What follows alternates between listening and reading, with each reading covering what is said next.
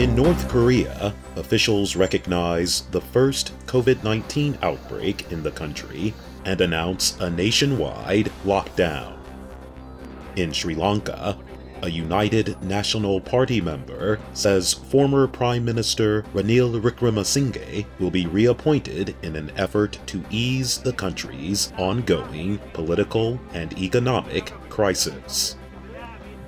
The Red Cross Aid Organization reports Spain's Coast Guard rescued 183 migrants off the Canary Islands.